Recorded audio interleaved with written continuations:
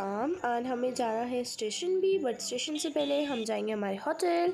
वहाँ पर करेंगे चेकआउट देन उसके बाद इतनी सारी जो अभी शॉपिंग करें, उसकी पैकिंग फिर उसके बाद हम जाएँगे निकलते वक्त सुलेमान मिठाई शॉप, जो कि मोहम्मद अली रोड पे बहुत सालों से है। पापा बताते हैं कि वो बहुत पुरानी है, बहुत फ़ेमस भी है। जब भी पापा आते हैं मुंबई या हम आते हैं सो हम यहाँ से उनकी जो स्पेशल स्वीट्स है ना, वो लेके जाते ही है।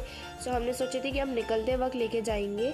सो बस अब स्टेशन जाने से पहले हम जाएँगे वहाँ और वहाँ से लेंगे कुछ स्वीट्स एंड वो टेस्टिंग के लिए इतनी सारी देते हैं ना कि वहीं पर ही सारा मन ये भर जाता है खा खा के इतनी टेस्टी होती है और बस हमने लिए कुछ स्वीट्स देन उसके बाद हमने बुलाया अपनी टैक्सी टैक्सी में रखे अपने सूटकेस और निकलते हैं अब रेलवे स्टेशन के लिए।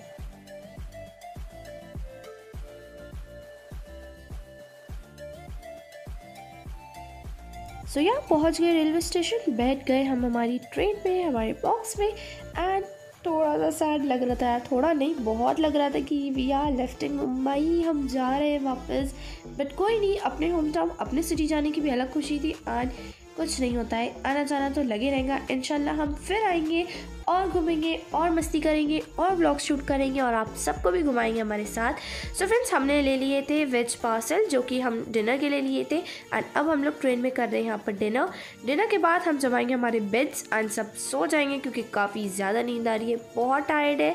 सुबह उठेंगे तो हम मिलेंगे नागपुर में, हमारे सिटी में और इन सिटी में, हमारे घर पर सो बस वेट करते हैं सुबह का, आज जाते हैं घर। आई होप आप सबको मज़ा आया होगा व्लॉग में। अगर मज़ा आया तो please like share comment subscribe सब कर दो यार। Just be happy be helpful be honest अस्सलाम वालेकुम, अल्लाह हाफिज़ बाय इनशाला जल्द मुलाकात होगी एक मज़ेदार और कामयाब ब्लॉग के साथ।